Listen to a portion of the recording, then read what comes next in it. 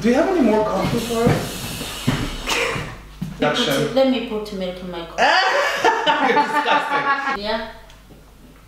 Sexy and then. No. Okay. Yeah? Yeah. Okay. We always have to do that. Me too. No, not just me. just me. Hello, welcome to Olave Talks. Um, today we're having Eliane Nina- Nininahazwe from uh, a fellow Burundian actually, Murulikazi. But first, let me get started first explaining what Olave Talks is. Hello, hello, hello. Uh, you've probably heard me say this before, but I'll do so anyways for the new uh, watchers, listeners. Olava Talks is a podcast slash vodcast, video podcast idea that I developed earlier this year. Um, what I noticed was in my activism and in my in my sort of communities of LGBT people, for example, of anti-racist activists and so on, and environmental justice activism, I noticed that I was meeting these amazing people whom through like these intimate conversations I was having with them after a demonstration or during an organizing meeting or I don't know like just even on chat um, having these incredibly uh, uh, important and sort of like sort of very informative conversations um, that I was just sort of growing so much from, that I was learning so much from, and I noticed like every time I would come home and realize like I had no way to like share or record what had happened that day, the kind of insight and the kind of information people shared with me, or the kind of uh, theory we developed together just in talking. So I came up with this Olave podcast so that I could sort of come up with a way to like record these encounters, these moments, because they're life changing to me, and uh, and also share them with. I think a lot of people don't have access to this kind of you know activists and and, and, and people and information. So that's why I started Olave Talks. Um, I think I, I, we've stopped counting, right? How many we do at this point because uh, we try to do once every once every month or twice every month if we have the funds because we're poor, we have no money. So, but we're trying, we're doing a really good job. Um, I'm assisted by this amazing team, technical team, uh, uh, Berksun, Çiçek, and Fenna de Jong. Uh, they don't like coming up in front of the camera, so I won't make them today. Anyways, so today I invited Eliane Nahadzwe. Um, Eliane, we met, uh, the first time we met was at the HIV AIDS March in 2018 in the summer. And uh, I had just spoken, I walked down, and you come up to me, and you're like, immediately like, yes, that's exactly what needed to be said. And you were like, I'm Burundian too. and then you started telling me about all this activist work you're doing internationally, you're doing in the Netherlands, in Burundi. And um, and I immediately started following on Twitter, and uh, I've you know I've had this feeling like I really would like to talk to you and get to know you better. That's why I invited you. Thank you. Welcome. Yeah, so we might slide back and forth into Kirundi so now and then because yeah, it's sometimes nice. It's very nice if I get to speak to people in Kirundi. Oh yeah, if you have Burundian listening, that's know, yes, yes. We need Burundians to listen to this because we'll talk about that. There has been, you have experienced quite a lot of um, of blowback, a lot of resistance from Burundian communities, right, in your activism. But we'll get to that. Yeah. Eliane, welcome. Thank you. Uh, how are you feeling right now? Oh, great. Yes, you're Positive always. always. you're not annoyed that we changed location like No. like last minute, just three seconds ago. I am just flexible. Flexible. I don't want to know more. Uh, No, no, no, just here. welcome, welcome.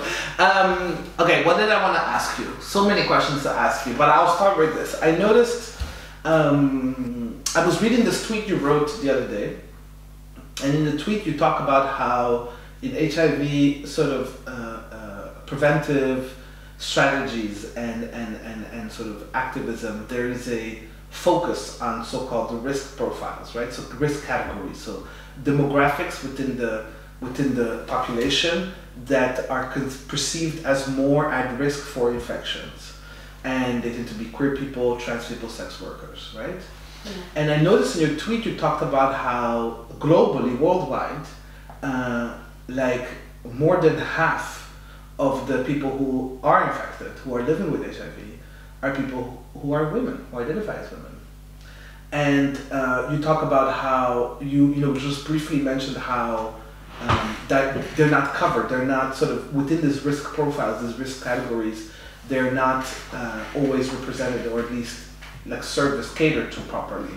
And I was wondering because I know a lot about how in the queer community the kind of issues we face in terms of HIV activism and HIV stigmatization and access to healthcare, um, access to PrEP and stuff like that. But I don't really know much about how outside of the queer communities, what are the what are demographic challenges, what are the issues, and I thought I'd ask you to come and tell us all about it. Thank you. yeah, well, we uh, we all know here, um, starting in, in Netherlands where I live, is um, we have uh, PrEP is only access mainly for men who have sex with men. That's it. And uh, minister did just give a call for them. Uh, this, is- of course, you still pay your own uh, small amount per month, but all description, descri- how they describe uh, PrEP sh- uh, could be used is more like men who have sex with men, uh, like uh, a number of prostitutes Mm. and uh, um, uh, trans women. Mm. But I looked where are the women? Mm. Women are not mentioned here. Women are not given um, uh, attention. It's very sad because here in Netherlands we know also if HIV uh, PrEP is a, a, a, a, preventive uh, medication Mm. That everybody should have if it, use it when you have you choose to use it. Mm. Of course, there is a risk. There is a what what you call it biohacking. How you call that? Um, uh, what are they called? Bijwerkingen, so the side effects. Side effect. Yeah. So then they should just let everybody who can use a prep, who want to use a prep, to, to, to get access to it. Yeah. But now they give only card, green card to only men who have sex with men because they they are just a big, a huge amount, but they forget. HIV doesn't know a risk group. Mm. HIV doesn't know, uh, oh yeah, it's on, I'm going to only uh, to attack only men who have sex with the men. Why then globally we have 50 percent of HIV, people living with HIV are women. Mm. Then why they don't think, oh, let also give a chance to women? Why have always to decide Yeah. to make choices for women? Yeah. Do queer women have um, access to PrEP in the same conditions as men who have sex with men, or also not? Uh, that for what I understood is that they, yeah, they are part of the risico group. They Yes, are. They Okay. are part of the risico group, but Cis straight women are not. no, No. Okay.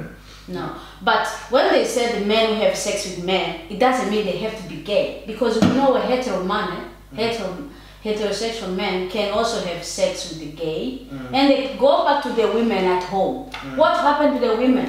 That's what I was trying to talk last time with uh, Prep and New Pontenel, Prep and New Group, trying to tell them, can you please try to erase this problem? Mm. And then one of those uh, ex- explained to me that it's not really, uh, it's very risk that uh, women here in the Netherlands get HIV is very small. Why do they assume risk is very small? Why do they have to, to say only, yeah, we have only big, big risk group, that, that's why it's minister did give this permission. So now we cannot go back and, and tell um, and they tell the minister again to change, we have to wait and say, but because there was no one in your group to stand up and speak for women, Yeah. you were only putting your first as a man who have sex with men, and that's it. Yeah. So the rest is it was just small groups added, but it's not really like we also welcome women to use PrEP. It's, it, there is not even advertisement for it. Mm. So I uh, I'll say if I look at the UK, women are, are using PrEP. Mm. In in America, you women are now having access to PrEP. Of course, we know PrEP is not just yeah you take it every day to pretend to pre- prevent be, from getting HIV, but there is also side effect. But that is a choice. You you choose to use PrEP, then you should get use it, but without any any any hard feeling like oh or guilty feeling Yeah. because you can use condom, you can use PrEP, but the best if you use a PrEP, you know chances use it as prescribed. So what you're saying is you would you would like there to be just more choices for cis women as well, Yeah, and and and this should be one that is available to them, and the cost of it shouldn't be a reason not to do it, right? So it should be made made available in the same way that it's available for quote unquote risk categories exactly.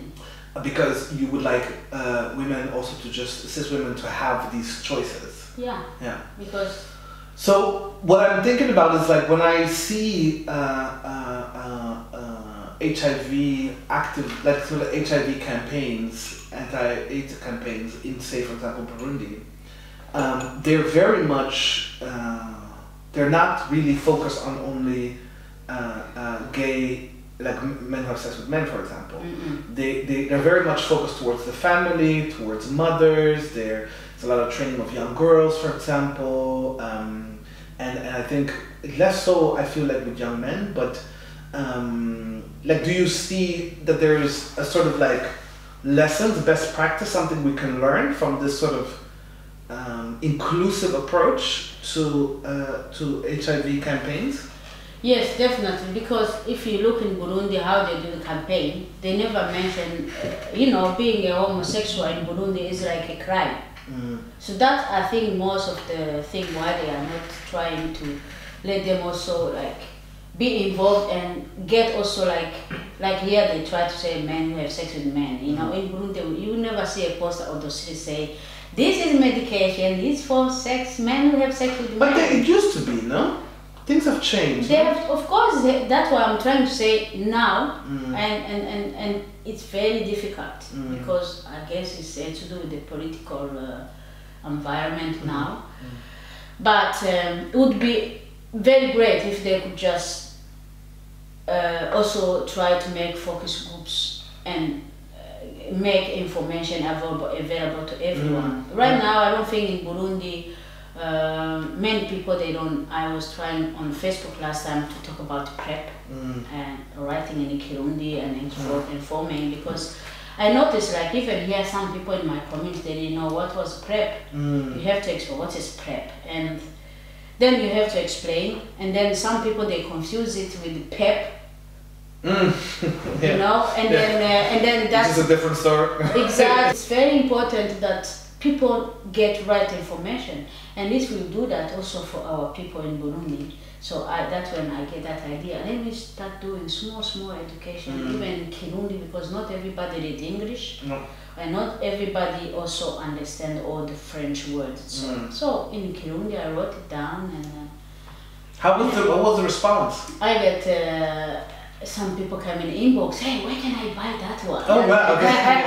In inbox, eh, because they don't dare to say there Yeah. because something to do with the HIV, you know, Yeah. preventing to get HIV. Yeah. So they will come in inbox and say, now I think if you really need it, you cannot just go to a pharmacy and get it. Yeah. You have to talk with your doctor and uh, go have first you to do HIV test Mm. to see if you are negative. Yeah. And then you can then go on PrEP. You can't just say like, oh now I think maybe, you know, I'm going to have sex with that one. Maybe I think he has HIV or she has HIV. And then you're gonna take PrEP like it's a Yeah. it's anti-malaria or something, you know? No. Kinin. yeah. But these are people who are living here in the Netherlands who wrote to you were like Some lives uh, he- here in in uh, Europa, like Fran- France or here in the Netherlands. There are also people in Burundi who ask me where can they get it in Burundi. They ask me even if in Burundi is available. So Is it? quite not yet really. What I know is that in Kenya, I know women who were even with us in the International uh, Women Summit in summer who are who were giving us experience how they use PrEP. Okay. So, meaning I was checking with the Burundian um, HIV Association if they have a PrEP yet. Mm. But they said we they only have uh, they give like like Truvada is that's the PrEP. Okay. So people are um, using the Truvada, but they are using it as medication, not Yeah. as prevention pill.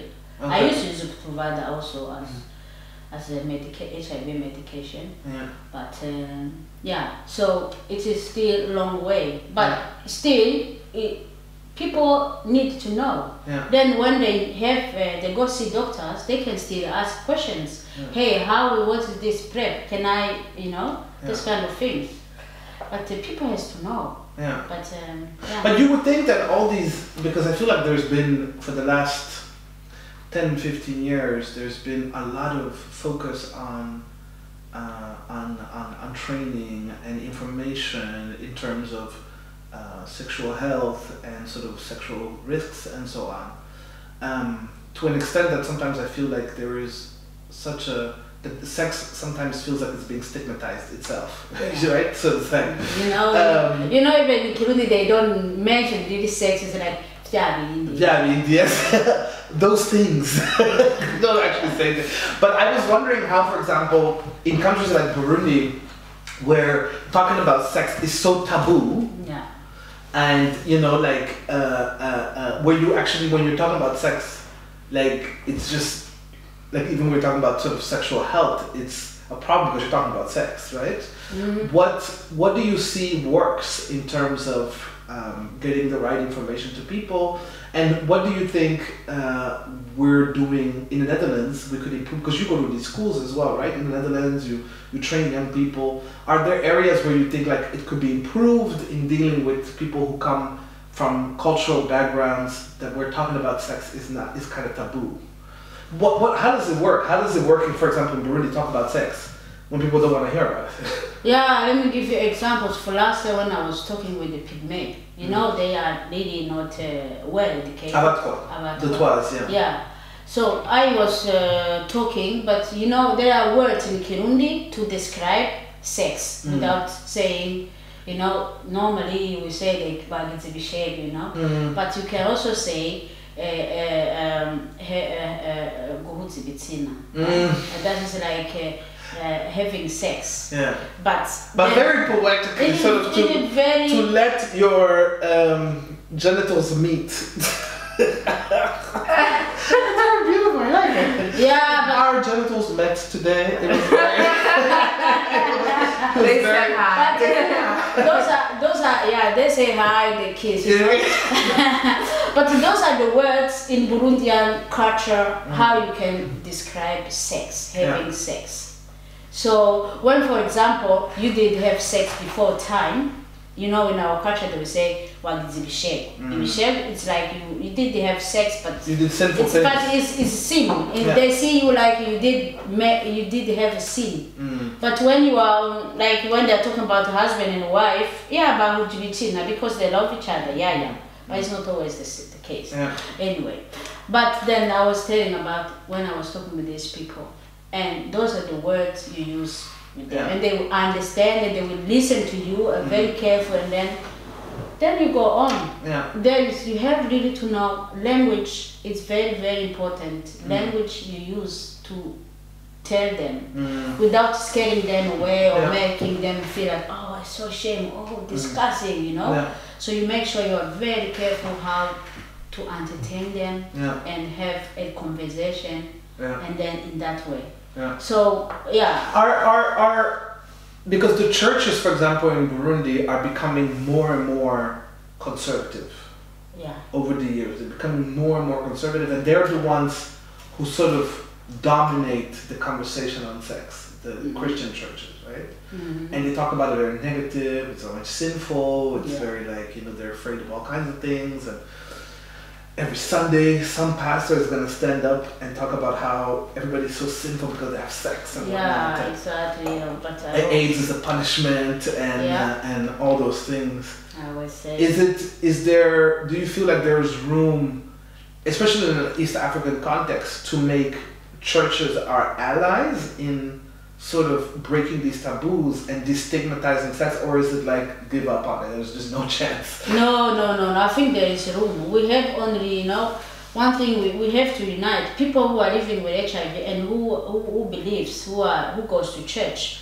Those people are the one who can make sure that over how you call it uh, witnesses Mm. was that God is just Father for everyone. Mm. So, for example, when that I don't know if you remember, I did the stigma campaign here in Holland, in 2016, also in 2015. I had on my poster, big, big poster, say, "Ik, ik heb HIV en God houdt van mij." Mm. That means I have HIV and God loves me. Mm. The reason why I say that is like I know when I was age diagnosed 2003, doctor told me I was going to die. Mm. She said I was not allowed to have a children. She said go buy your own coffin because God. Was that in Burundi? No, I was in Angola, mm-hmm. unfortunately. But um, I waited for three years, but I was taking medication and I saw I was not dead yet. Then I mm-hmm. said, okay, now I'm not dead, so I'm gonna try to have a baby. Mm. So when my son was born 2006 and he was HIV negative, I mm-hmm. said, I am the winner. Mm. I'm not dead. I have a son without HIV. So this doctor, Mm. eh, she just didn't know what she said because I'm still alive. Yeah.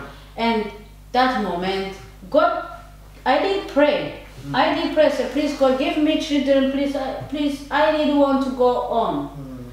And then what I always say, people who said God punishes people with HIV, I always say, God doesn't punish me by giving me disease and same time bless me by giving children without disease. yeah. How can God contradict himself? Yeah. So how can you explain to me a woman who gets raped by the whole village of soldiers? Mm. You know, the soldiers come and they rape the whole Agasozi, like uh, one one village, yeah. and then the women and girls get HIV and others get pregnant. Yeah. And those children will be born. They they didn't have access to medication. Mothers didn't know they had HIV, and Yeah. up to the moment, children will be born with HIV. Mm. And then, how can you explain that God let that happen? Yeah. Why would a child be born with HIV? Because mama didn't have a chance to have a medication to protect the children, Yeah. which I did. I didn't get medication. I protect my children. I have two sons born after I was HIV, so they are so gorgeous and healthy. I hardly take them to the household. Yeah. So tell me now. I always that when that conversation came in from in my sport, I always and said, you know what, God did miracles for me. Mm. I took medication, I pray, and children that don't have HIV. So Yeah. God cannot punish me. Yeah. So and God doesn't punish a woman who get raped and Yeah. get HIV from that way. Yeah. And plus, people who go and have sex with, you know, nobody gets HIV wanting to have it. Yeah. So why do you think only sinning is by having sex? Mm. Really? And and don't you have ever have sex? Yeah. And because you don't have HIV doesn't mean you never really sin, even do other sin, which are very even worse than having sex. Nobody uh, get HIV because he wants it. So you would you would you would you would say that we need to have more uh, uh, uh, uh, HIV people with HIV HIV positive people with you know of faith speak out Yes. and do testimony Yeah. and, and, and, and talk about how um, how they you know they can still sort of live their lives in faith and with, with dignity Exactly. uh, with that, you know and, and, and live with HIV. Exactly, because you know, when God, God, there is somewhere that is in Bible, God gave everyone talents. Mm, When you have those talents, what in Bible and Kirundi they say amatarena. mm, When God those talents and HIV came in your life, it doesn't take those talents away. Mm. If you study, you go to degrees, HIV doesn't touch that. yeah. But the thing is, when you're gonna sit down, If you're if you're if you're an Oh, artist, you know Yeah. HIV doesn't touch that. no, it doesn't. If you are Definitely. caring and loving a friend, doesn't Exactly. touch No, that. but only it's happened when you stay in a negative mind. Mm, You allow yourself to go low, yeah. and then you get stressed, and then you will have a lot of problem, health problem, Yeah. and then you will end up really in bed for 24 hours. Yeah. But if you only allows it, if you take a major, take your medication every day, Yeah. you're gonna just live in a like everyone. Yeah. But what we need to do is like also the pastors from the church need to be trained and understand what is HIV, what Mm. is, how can you prevent it, and then once those one are educated, they understand it, Mm. then they can give a space in the church with them for preaching, Mm. and they can then allow people who have HIV want to testimony Yeah. to, to testify and share their story. And then that's how they, we can educate our community in the churches. Yeah, Because how do we deal with the fact that there are a lot of sort of people who make claims that they can cure HIV through like Oh. rituals and like raping young children. Yeah. Uh, there are all these sort of and people who make these claims who say It's that true. yeah. I, uh, I uh, one last year I was in a, with the also pygmy uh, community. I was speaking to them, to the they were men and women who were sitting with the children, and then I took out my medication which I have in my bag there, mm-hmm. and then I put it in my hand and then I tell my story. I said, look, 15 years I took medication every day, mm. and they were like, oh, so much, yes, but but you you look so happy, yes, exactly, that's the point. You, I heard men here, you are raping women and girls thinking you're gonna get a rid of HIV. There is no cure Mm-hmm. in this world for HIV. Only you take medication, you can live just as chronic, chronic disease. So I told them, man, listen, understand it today. This is medication. You mm-hmm. only go to hospital, you get it treated, but you're not gonna. The moment you take a girl and a woman and you go and sleep You're it just out, spreading it. you are spending it, and then if you don't watch, you are so numbered of, in your community. You are so little. So in, in, in one, two, three years, you are all gone, mm-hmm. finished. And then, yeah, um, to tell that that is very important also um, these people to Yeah. understand. So people who claim, back to people who claim that they heal HIV, somebody was saying, I was getting really crazy with this Kamuka testimony. People, I was having HIV for 10 years. I was listening to Kamuka every day. Who's Gamuka? Kamuka is a, is a radio uh, uh, postcard, uh, what, what you call it, from Burundi. Uh-huh. It's a, a, religious uh, Okay. uh, audios. Uh, he will talk every Tuesday for my mom. And he claims that if you listen to him, So listen, uh, and then we will be praying on the line. So people listen to him every day, and then they will come next time. They're gonna testify. Say, when you are there, touch your heart when you have heart problem. When you have uh, HIV, touch your belly or whatever, you know. And then after that, oh yes, God is finished to do miracle. I see a woman there was having HIV just healed, and that man was having ejaculation problem is gone. yeah. oh wow. and uh, there will be uh, and then and then and then, and then after that you hear. This is on national radio, and we know how Burundians love to listen to the They listen, they share it nowadays in WhatsApp, you know, it goes and goes, it goes to, not on here, the whole world. You know, every Burundian who's there, there can listen in Kirundi, Yeah. some Banyarwanda also listen. And then there, were- when there were people who testify about being cured of HIV, I will get like a hundred of Kamua in my inbox. Uh-huh. Listen to this, please. You're gonna be here. Gonna say, "Hey, I am healed. Who's? Are you stronger than me? Yeah. What is missing with me?" Yeah. Ah, and then I ask, "Don't you go to hospital when you get malaria? Yeah, and you can you take a cure, yeah, until you are fine. Yeah." But you know, like the thing is about this sort of these sort of people. Like my mom was also going a lot to these kind of uh, uh, uh, a lot of red churches, and my mom has struggled with diabetes and hypertension for many many years. And at some point, one of these one of these yeah prophet like sort of prophets people convinced her that she had been cured of diabetes and hypertension and that uh, getting tested regularly because you know if you have diabetes you have to do checkups and so on that that was like gonna that was a way of doubting god and then if you would do it then god would make would make it seem positive.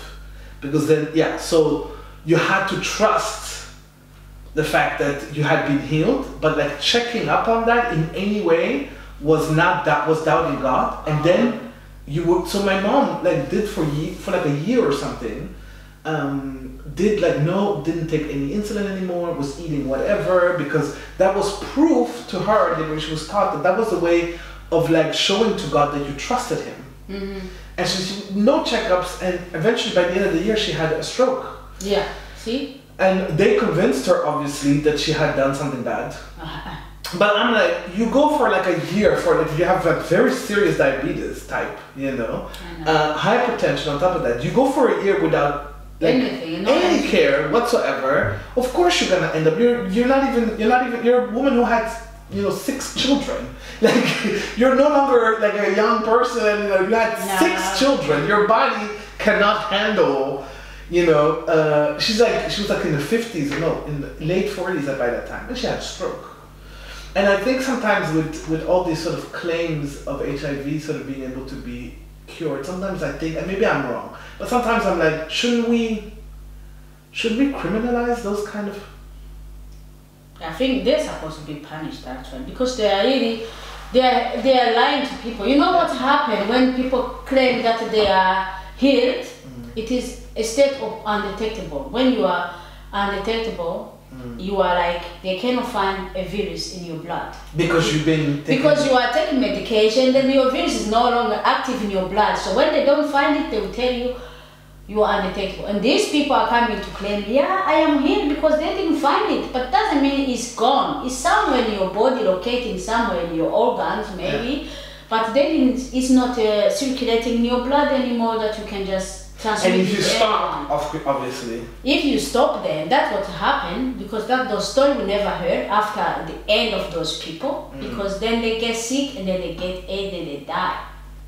Mm. They get very sick and then the pastor will never come back to tell us, oh, by the way, people. I killed someone. No, exactly. Yeah. So that's why I always say, like, you know what? If you Tell me more about this undetectable. yeah, Tell me more about that. What do you mean No. undetectable? What does that mean? meaning you are um, your um, the amount of fluoride in your blood Mm. is is is less. Mm. So meaning your virus is not active. Okay. So and uh, it is there is a, a partner study they did uh, more than ten years ago, and then uh, they found out that when you ha- you are undetectable, you can have sex without condom, and you cannot give it to your your sex Oh, wow. partner. So, and that news it had been hidden between doctors and scientists. They didn't let us people Why? know because they choose for us. They thought maybe it's people are gonna be naive, maybe that they are going to just uh, because you have to stay when you're undetectable. You have to stay undetectable. The moment you become detectable, You then you can transmit it.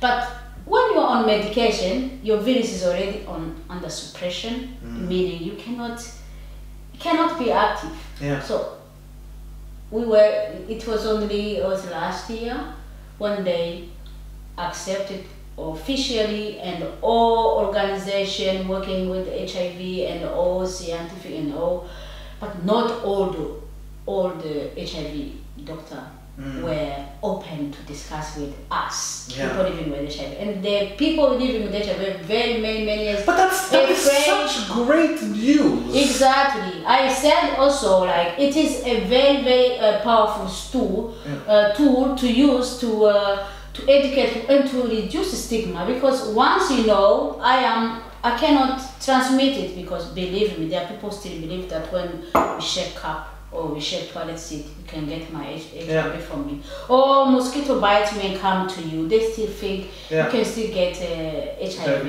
Yeah. But see, so imagine that this news, if you cannot get HIV by having sex with somebody who has HIV, Mm. who's on undetectable level, meaning there is a great news for people who live in HIV. Stigma yeah, that's but also like I can just imagine.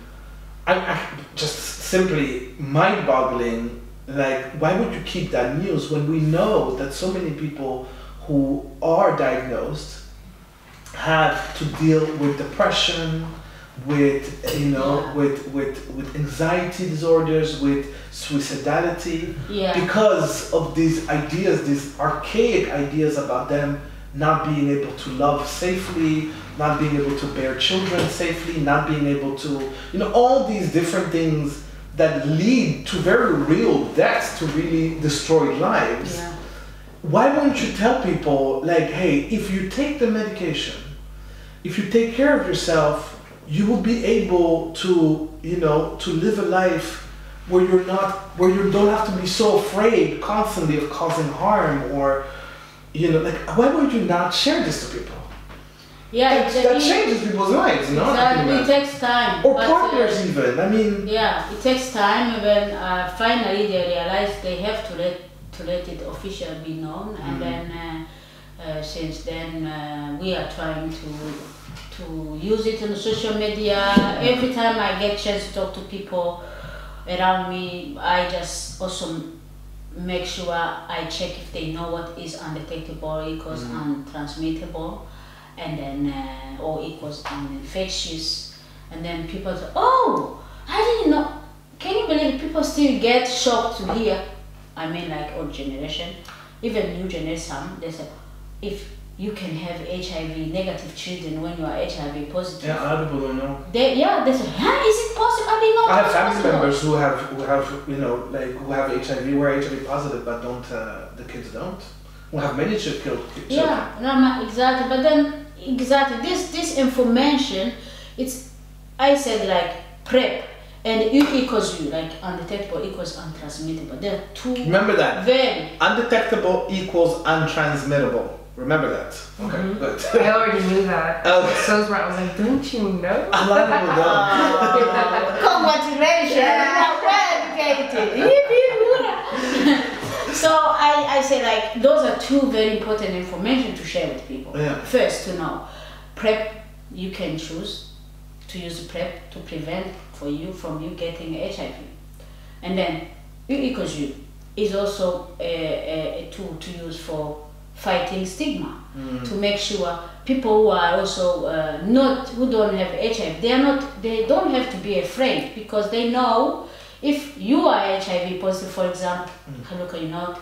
And I am in love with you. Mm. We can just go on. You know HIV should not stop anyone to love and you know you don't have to if you are HIV positive you, you don't have to look for HIV positive person to fall in love with mm. I see many people struggle say yeah I don't dare to to be open so I can fall in love with somebody but I cannot tell because I'm not sure what the reaction will be yeah I and the reactions can be quite negative still of right course, A lot of yes, yes, because this is exactly because they don't know Yeah. the update from HIV. Now, when you are still thinking, oh, somebody with HIV is dirty or is dead, sentence, you know, then you know you don't. You know that's the reason people they don't want to do HIV test to find out their status. Well again you can. I don't want to know if I have that thing, you know, that thing. And- But I think I noticed this as well because every time I go to festivals, like queer festivals, I always have a bunch of queer people around me of color. Mm. And I always go test because there's always somebody testing. Um, at these, like at Kwaku, they were testing, at Pride, they're testing, you know, all kinds of events where queer people come together, they're testing. And I always tell people, let's go test together with a bunch of us. Let's just all go test together. And a lot of people really freak out. They're like, Yeah. no, I don't. I don't want to find out. I don't want to find out. Well, if you find out, It's the best. You Yeah. Yeah, yeah. Look at me, 15. Now I'm six, out of official. I'm 16 years with the HIV. So. and looking fine. Oh no way! I am just gonna keep shining. And I wonder, like, also, like, with uh, uh, uh, what you're saying about untransmittable and undetectable. Uh, so you that that's something which you feel like is important, so that people can destigmatize um, being HIV positive. And I see, for example, on Grindr, for example, they have this new in your profile you can add whether you're HIV positive or not. yeah. That's something which you can put in your profile so that people, before they start talking to you, already know your situation. But sometimes I can understand that that you because I also put on my profile, for example, that I'm trans because some people I don't want to talk to. Yeah. Trans is anders than disease. yeah, but it's stigmatized in the in the in the, in the there, there are issues there are issues there are issues there, and sometimes I just like people to know who I am already before they come talk to me. okay, it's okay, yeah. Because- Because, because no wasting your time. No wasting my time. Exactly. But I also feel like a lot of times we sort of ask people or require people to give up their medical status and their information. I mean, if you're undetectable, do you have to tell anyone? exactly. Why would you have Why would I tell when I know I cannot give you disease? Yeah. Are you telling me what you have? Yeah. You know Yeah. the problem is. We should. Nobody walks around with a whole list of everything. Hey, like, okay, look so. at me. I have nice bloom by HIV in my face. Yeah. Hello. One thing I, I know, they always want to put pressure on people living with HIV. We people living with HIV, we are lucky because we know it. We take medication, we take care of it, and But it's also personal and privacy. And issue. exactly. If you have a cancer or you have like uh, a, I'm not gonna ask, hey, if you have a gonorrhea, put it on your profile. Yeah. I don't ask you to do that, No. but how often people they meet, I know my stat, but you never do HIV test in your life, Yeah. but you are just looking, they're looking for a partner. The moment you see somebody with the HIV, you go, oh no, no, no, I'm, I don't dare. But do you know your status? That's the problem. Probably you already have working years with HIV with you, but Yeah. you don't know it. But what you're doing only, you're gonna go on Glinda, you're gonna just spread it. Yeah. That's the problem. Yeah. Then I'll think, I'll think if they put, I have to put my status, I'm HIV positive. Then you come on Glinda, you have to do HIV test to know, you know, you are Yeah. sure of your status. Yeah. Then we are going to know each other. Yeah. And then I know your status. And then when we really decided to go together, mm. we go again do HIV test together to mm. see if you really your status clocked. Mm. Because people will put fake one, eh? yeah, they will, they will, they will just put there because they want to make sure. If they make rules, everybody put status. You say, okay, HIV positive, HIV negative. Okay, we meet. Okay, you decide, oh, I'm just gonna because I know you, because you so. I will ask you about it. Are you on the tech for Yes. Okay, then I really like you. Let's go. Mm. You understand? Okay, before let's go, let's go do test together. I am on the tech for and I want to know your really status. Mm. Then we can go further. Yeah. That's how we can catch them. Yeah. But unfortunately, the burden is always with the people living with the HIV, HIV. yeah. It's like we are zombies, like we are just a bullet, you are bomb, we're gonna kill you, you know? Yeah. It's not true. Personally, I think um, also with being trans, for example, there's so many information that we're supposed to get, tell people. What I feel like that's your personal, private information. Like I don't go around asking everyone that I am, you know, meeting online or otherwise. Like, oh, have you ever had malaria? Do you have malaria now? because that's infectious as well, right? Uh, do you have? Have you ever had STDs and which ones and so on? Like, it's private medical information, and I think because sometimes this basis of like you have to tell people your medical information is also sometimes the basis for criminalization Yeah. of people which I so, like in some countries if you don't say anything to someone No, you might will- be You gotta go to jail because um, you are. Uh, they would uh, they will accuse you. Uh, you are just infecting people. Yeah. When you know when you're undetectable, you cannot infect anyone. Yeah. Why would I take responsibility for you? It's your body. yeah Your body. yeah You need to take good care of. You know. You need to know what is going on with your body. yeah Don't come and blame me about. I know my my situation. yeah I'm talking about also anyone, if it's a trans woman or women or men or whatever, whoever is HIV positive, we know. We go every, some go every six months, some go every three months to do checkup. You give your blood, they check many, many things. mm, We are very well controlled. mm, We are followed up by the doctors, professionals. And you are coming to accuse me I am the danger. Why? You never, you don't even go to the to the doctor to check, to do checkup of your general health thing, problems, and then you think we are the one who are in, in trouble. People who don't do HIV test, people who don't know their own uh, HIV status, they are the one who are the danger because they are the danger to the society. I would Mhm. say it should actually be a duty for everyone Yeah. to just do HIV test. But if you're sexually active anyway. exactly, yeah, because don't think like, oh, I'm gonna eat Snoop without uh, plastic Zagreb, so I'm gonna eat uh, uh, like uh, take a lolly in my month. Uh, and then after that, you're gonna say, oh, nee, I didn't know that that lolly was so infected. yeah Where were you? Because nowadays people don't have excuse. They can go on Google. Google knows what to But do do. people know? Because you're you're still teaching in schools and stuff. What is your what is, what do you feel like? Do people really know enough No. to make um, conscious decisions, even in the Netherlands? Huh? Like No, I'm talking. I live here in Netherlands, so I see what's happening Yeah, here. yeah. So sometimes that's what triggered me to think about talking in Kirundi to people in Burundi online Mm. because what I observe here, you know, let's Do you feel like people know enough? Like with No. the people you're meeting, the people you're training, the No, people. they are not. They don't know enough. Let's say, give you an example. Like you're sitting in a class of like uh, uh, 17 children, young children in college, and then you are talking about uh, HIV. So they're specific, and then you have like you have a mosquito, and then you say, okay, this mosquito bites me with HIV and come to you bite you. Do you think that uh, you can Yeah, get. HIV? From 17, 15 were saying, yes, you get Really? HIV, naturally. That's what they said. And then I was like, well, how do you know? Are we in uh, Timbuktu somewhere? Yeah. Yeah. This is this is the generation that's know hashtag generation, eh? You know hashtag. eh? Hashtag generation telling you your mosquitoes you can just. And then another one from the uh, dirty toilet to say, oh yeah, when a woman who has menstruation left the blood there, you're gonna sit on that blood, you're gonna have HIV. what? Yeah. Wow. Okay. And that's then you intense. know, this generation hashtag. And this is Erose. This is like. Yeah. This is kids who have finished uh, Middelbare middelbare school. Yeah. Wow. Yeah. So then you know. Some of them are already sexually active as well. Of course, they are like yeah. Of they already are.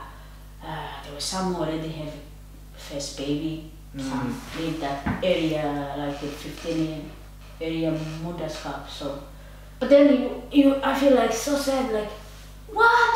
Mm-hmm. This a lot need to be done. But you know what? Nowadays they go in the media. They will check on the news on gossip. Oh, what Melania Trump had yesterday. They know what kind of brook that Trump walked with the toilet paper under his shoes. That will be big news highlighting. But people, they don't want to check like, okay, now I am so scared of this disease. I would really like to know about it. You just Google what is Are people scared of HIV still? They are scared because of the, the reason why they are scared is the reason they don't want to do HIV test. Mm. They don't want to know if they have it. Yeah. And when you don't want to know if you have it, meaning you are scared to have it because you know you think for negative that you're going to die, they say life is over, so you don't want Yeah. to, to go through that. Or maybe some people still have all the images of HIV like AIDS when mm-hmm. it was really like no medication at all, people were mm-hmm. just gonna diagnose and then waiting until the final breath. Yeah. But that's no, it's no longer like that. The big have things have changed. You Yeah. know, I came from 20 uh, pill per day to to four. Now I take four tablets, but some that now they take one. Mm. So in two months I may change from four to two or to one. It's because of um doing combination with my uh, diabetes. Yeah. I have already 20 years diabetes. Oh really? Yeah, I started diabetes before HIV. So that's how Yeah. I get HIV anyway, by uh, getting giving blood in hospitals in Burundi, Okay. and then they use a dirty needle, and then Mhm. I get it like that way. So there's about like wow, that's intense. What is intense?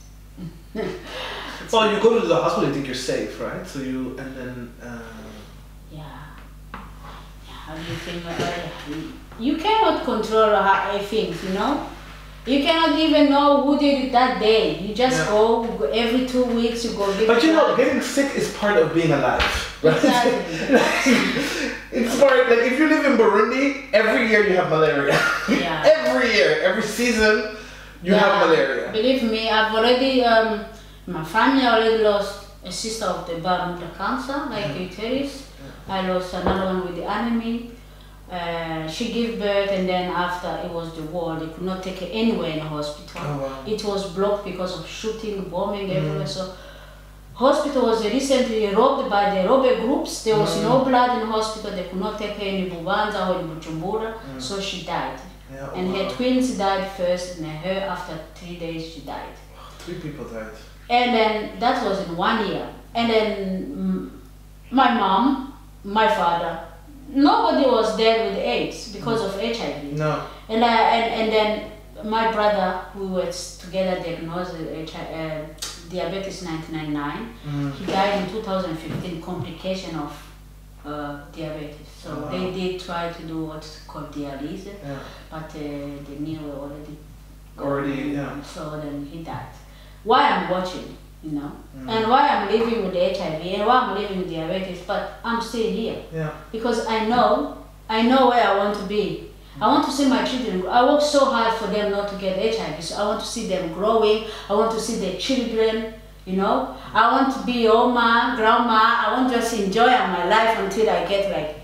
I didn't know I, I will even reach 40. I was 25 when they told me you're going to die, you have HIV. So now I'm going to be 42 in November 20. So then I say like, I'm aiming to go grow older. And what do you do? You take action. I do sport.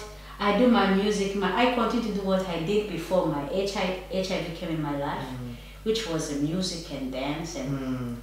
And the writing. Sometimes I write the poems or Traditional the. Burundian music or? Yes. Oh, really? Yeah, I, I, I play an instrument uh, in Donongo. It's like uh, from horn. Yeah, I know Donongo. and I play in Donongo and uh, I I dance. I now I have even Teach me. I don't have in Donongo at home. I have a, I have a now children's show coming for November and in uh, Culture uh, Budarai in Amersfoort. Okay. Children come to listen Imigani Abana where I'm gonna play instrument and then I tell the story of Rugwe and Kabeba. Oh my god, I'm coming over. I'm, So, I am going to be there. the I'm also a child. I come a child. Come every day. No problem. So I will be doing that sometimes in a festival in Amersfoort. I just play and then. Uh, I- Do you know a lot of Burundian traditional stories? Yes, I do. My mom, my mom always taught me one. Mm. The story of uh, Sangima.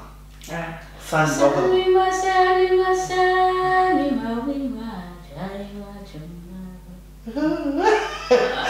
My mom would sing it to me. She said, Sangima, Sangima, mama wawe yakuvuze Sangima. Nyoko wawe salima, yakubuze salima, nguri gufa salima, yitoreye salima, ngitongo salima, y'abatutsi salima we. Oh my god, can I? abakecuru murahimba mugahimba mugahinahimawe Uh-huh. so that, Oh my god. my mother also used to sing that one for You're making me so happy right now. No, like, really? So when are we gonna start recording you? Like, where are you do we contribute today? In, Yeah. I, I'm, I'm, Amersfoort. Amersfoort. I, I can uh, I can send you um, But you will you be recording this, or it's gonna be in Dutch, of course. mm, I I think I, I, I it's uh, Dutch children Yeah. so I, I do I Oh, so I can understand it too. Yeah. Of course, I'm I- coming. I don't have recording. I just go perform on stage. I sometimes I give people uh, to film or whatever. Do you know if you would start recording these children's stories, the songs in Kirundi with subtitling? Do you know how many Burundians would watch this? I don't know. Because we're losing these stories. Huh? Yeah, but what I do, I tell first the story in Dutch Mhm. because I'm gonna play instrument, and then I will tell first in Dutch what the story is about, and then I would, uh, and then I will, I will sing it then in Kirundi. Yeah. I'm so excited. I did first the story. First the story was the dancing princess Yasmin. There I had I have a big baby. It's a girl. It's very uh, dark like me. Sometimes I put in my in my uh, gongo. okay. and then uh, I put in my mama, and then I'm just going to sing, and then I put it there, sit there, and then I'm going to dance, so I dance with it in my hand. So it was very success. That's how I get booked for that uh, show. Oh wow. So now I'm going to tell the, the story of Rukwe and Kabeba Wetsrite, Okay. you know. So yeah, Wow. But that's an interesting story, right? It's about the turtle and the and the and the rabbit, right? yeah. Who have a competition. ingwe ingwe na na Kabeba. Ingwe na kabeba. Yeah, in imbeba ndikuvuga imbeba nyene akabeba Eh, katoni eh. small small And they have a competition, right? They had a competition. Where did you learn all these stories? Who taught you these stories? Uh, I uh, I had I, I used to love my my grandma. Only one I know in my life was uh, mother for my father. That's the only grandma that I know. But when I, she was uh, I was seven, she died. But I used to sit next to her and they hear the story. And after that, I carry on with my other cousin of my father. She died when she was 108 years. So you know she was a real bibliothèque of uh, Yeah. Stories. I Yeah. used to sit next to her. She would tell me a lot of story. So I always like to sit to even when I go in my village, I just go to visit the oldest friend of my parents, Uh, just to just keep on refreshing. yeah. So and then uh, yeah, I. But I there are so many stories. yeah, I, I, yeah, yeah, yeah. It's Like- in my show. I used to say like with uh, Yeah. you know, or Like, like, like, do you do that, Gamatina? Kupeza. You can do it with also with the Nyamara West- kutanya urataye utakwe vuna mukoje nk'abatama bakera muri mamore. You can do the whistle. How can you do it like wow? Yeah, of course. I, when I was younger, my dad used to listen to this. Yeah. He had these old recordings of like Kufa Gamatina and stuff like that, but very old, maybe like four or five, and then, or like the whisper song. Yeah, kunam, inam. And, and I would and I would not be interested. I would just not be interested. But now, sometimes I spend the whole day, like on YouTube, trying to find these things, and I can see in the comment section that people my age, mm. who grew up in Europe, but also grew up in unavuga nkavuga natoke orave ariko arumbereza ariko aratwenga twenga nkalamwaka Mm. hey yeah that was it So you should do something with that because we want to know. yeah There's a whole community of a lot of I think young Burundian uh, uh, diaspora, but also I think in Burundi itself, whom you know we're taught in the in even in schools in Burundi, we're taught that this traditional poetry, literature, singing is not interesting. It's not relevant. It's not as good as yeah as. European Yeah. uh, things. And I think for people to share this information is also a kind of activism. For people to keep on keeping that alive, I'm so glad that somebody who's almost my age knows these things. Yeah, but I have been, you know, I've That been the whole, so I have been the whole my life doing this. You Yeah. know, when I was in primary school, I just would nice quickly uh, when we call Fetish Korea. Mm. I would just make up songs and then we're gonna perform them and, and You would make up original yes, songs. my own songs like that, and then we will make a, and then we just perform it in front of parents and, and the teachers. And then I, I was like, I would go home, I take the cooking pen and take two uh, stick, and then I play drums. Mm. And uh, when I was in, uh, in high school, I was the only woman in the disabled ones who was dancing umuyebe. They could just uh, see with my Umuyebe. I only know Amayaya, what's Umuyebe? umuyebe is other sort of dance. Okay. but It's not from uh, uh, Imbo uh, place. Uh-huh. But then you are wearing the amayuki, Uh-huh. and then you are wearing something like uh, it was like uh, from uh, dry grasses. Okay. So, and then you uh, go like this. Ah, with the, yeah. Only men dance that? That was only men. Hmm. So Have you heard about the new dance group of the, the Ingoma group, the uh, uh, drums group, who are all women in Bujumbura? but me, They're so good. yeah, my that is now you know the minister of uh, Is forbidding the, that. the- yeah, it's forbidden. But me. In 1999, I was in the Lycée Étoile de Montagne Genda. Hmm. I am the I started the first female group who did play drums. Really? In 1999. And y'all would go da, da, da, da, Yes, yes, yes, and the directrice Sorry. was very, very. Uh, You have to whip the hair, was- okay? It, it was, it was, um, it was that time. It was like uh, uh, that congregation was. Uh, uh, uh, Shueja Babikira, uh, Uh, like a uh, like a Catholic non, school. non, non, uh, non school, Yeah. and then we were only girls. We had only one. And you started doing drums. Yes, started yeah, a group. Just uh, started a group, and uh, until now, on my wedding, I played drums. Everybody was like, "Wow." On your wedding, you played drums. Yes, I did. I, I, I, I have a video of that. When I look at You went, you stood up, and you started. Oh, they are, they are, yes, yes. Then they come to invite, like they always come to invite the, the bride, you know, and then you just stand, some, they just stand, they have no clue what to do. And then when they give me, I could not wait to get there. Mm-hmm. And then I dance, I, and then everybody was like, huh? I can, I think in the weddings that I've been to Burundian weddings, I'm pretty sure if that would happen, Hmm. like people would faint. People would be like, what? what, what just happened? I mean, in Burundi, we don't even let a woman do ijambo, like speak in front of people. Yeah.